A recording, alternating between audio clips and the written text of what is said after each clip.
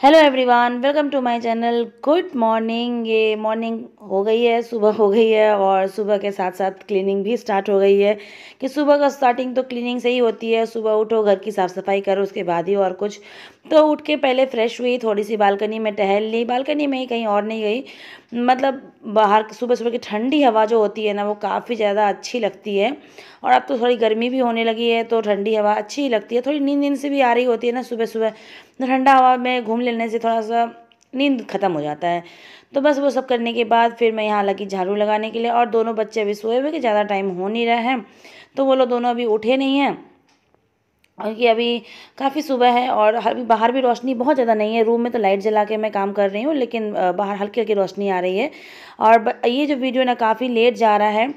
अभी तक तो बच्चे का स्कूल खुल गया है, लेकिन ये वीडियो काफ़ी लेट जा रहा है ना, इसलिए इस समय बच्चों की छुट्टी चल रही थी। क्योंकि ना, बीच में एडमिशन वगैरह का दौर भाग ये सब काफ़ी हो रहा था, उसके बाद फिर मेरी तबीयत बहुत ज़्यादा ख़राब हो गई। तो बहुत लेट से मैंने वीडियो अपलोड किया है, करीबन नौ दिन बाद मैं वीडियो अपलोड कर रही हूँ। कर ही नहीं पा रही थी। इसलिए तभी स्कूल बच्चों का खुल चुका है। और फिर मैं यहाँ पे झाड़ू लगाने के बाद चाय यहाँ पे मैं ले ले रही हूँ और थोड़ा चाय ना छाँकने के समय गिर गया तो मैं वहाँ पे थोड़ा पोछ दे रही थी। और चाय पीने के बाद लगाऊँगी पोछा, अभी पोछा नहीं लगाया है, पर झाड़ू लगा के चाय वगैरह ले लिया दोनों बच्चे दूसरे रूम में सोए हुए हैं। और मुझे आजकल गर्मी लगने लगती है काम करो तो गर्मी लग रही थी तो मैंने थोड़ा फ़ैन भी चला लिया था। और साथ में चाय भी पी ले रही हूँ। फिर चाय पीने के बाद पोछा लगाने का काम किया फिर बच्चे भी इस समय तक उठ चुके हैं और मैं यहाँ पे नहा वहा के आ गई थी पूजा करने के लिए। तो लेडीज़ का काम तो बस यही सब रहता है बस यही होता है कि कुछ लेडी टाइमिंग अलग होता है सबका उठने का सोने का काम करने का लेकिन सुबह का काम हर लेडीज़ का हर हाउस वाइफ का ये सेम ही होता है। तो बस आ, सारा काम ख़त्म करने के बाद सुबह का यहाँ पे मैं पूजा जा करके आके यहाँ बना रही हूँ नाश्ता। दोनों बच्चे तो उठ चुके थे वो भी फ्रेश हो चुके हैं और उनको लगी थी भूख। अब तो मैं यहाँ बना रही थी इडली। आज तो इडली ही चलेगा। बनाई तो मैं नाश्ता के लिए ही थी, लेकिन ना मेरा दोपहर का लंच भी इडली ही हो गया।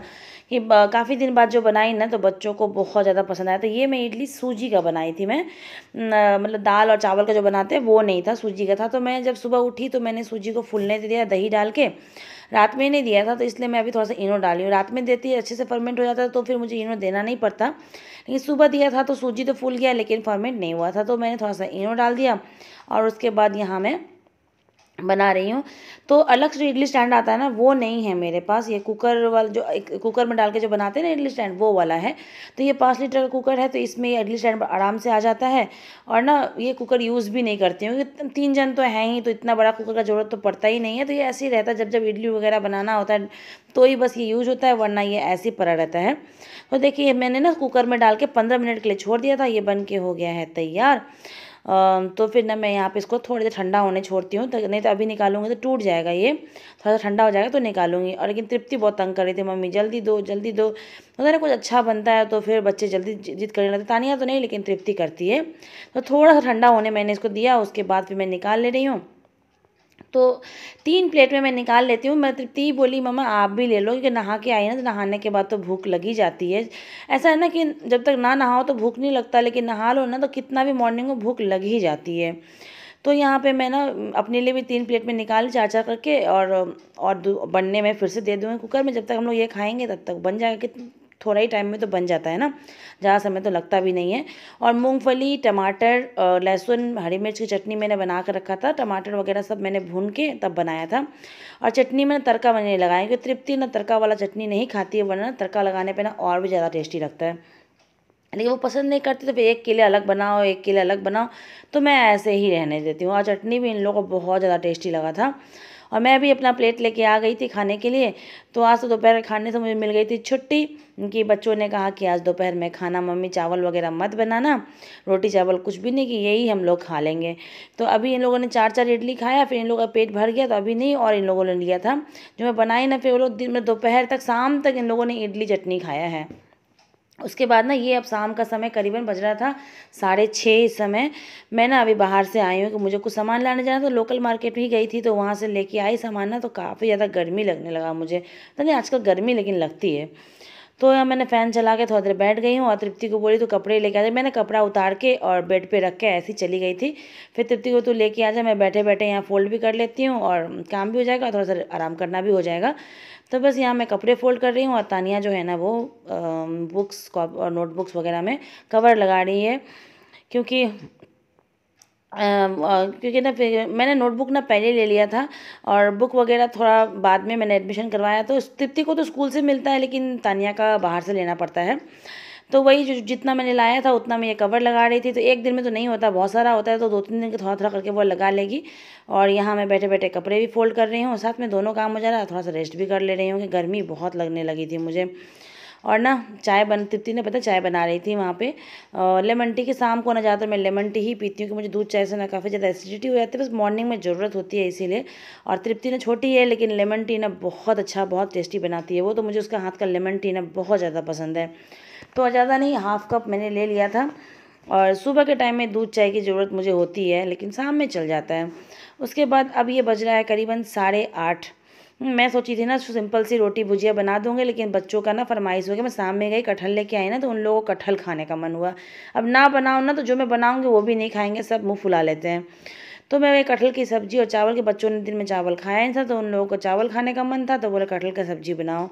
तो मैं ना छिल मतलब कटहल को छिलवा के वहीं से लेके आई थी इसे मुझे कट करना था। तो फिर मैंने कट किया और फिर मैं यहाँ बना रही तो कटहल की सब्ज़ी बनने में टाइम लगता है ना, इसलिए मेरा मन नहीं था और साढ़े आठ भी बज चुका था। तो बनते बनते ना काफ़ी लेट हो गया, दस बज गया सारा खाना बनते बनते, क्योंकि इसमें बनता लेट होता ही है।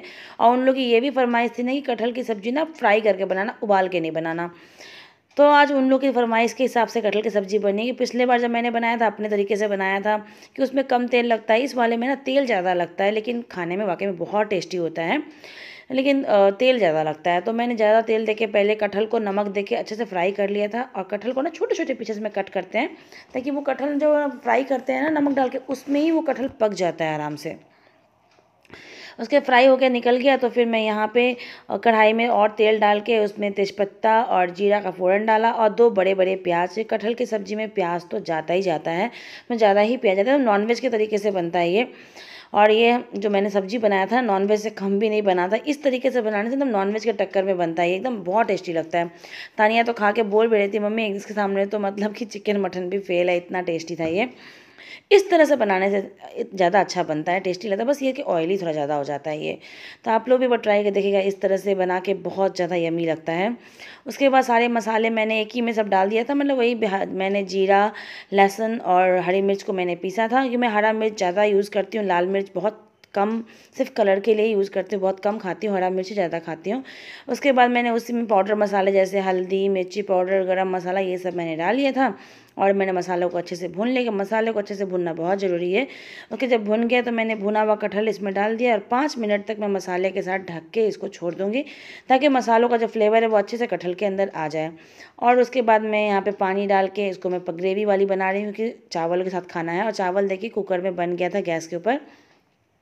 और ये देखिए, यम्मी यम्मी सब्ज़ी बन के तैयार है। एकदम नॉनवेज के टक्कर में सब्ज़ी बना था, बहुत टेस्टी और बस रात का खाना मैं यहाँ निकाल ले रही हूँ। करीबन सवा दस बज रहा, चावल और कटहल की सब्ज़ी। बच्चे भी बहुत खुश हो गए थे खा के बहुत ज़्यादा टेस्टी था।